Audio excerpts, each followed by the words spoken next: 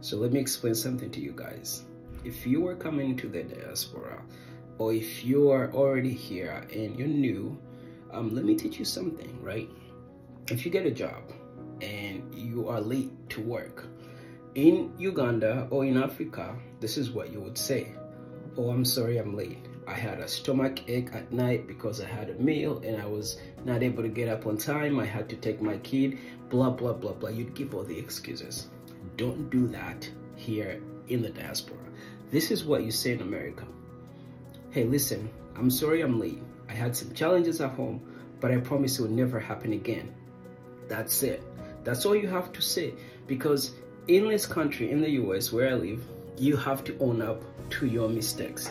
You cannot be born around the bush. You cannot be giving excuses like we usually do in Africa. So if you want to keep a job here, that's what you gotta do. Just own up and apologize and make sure it never happens again. I hope you learned something today.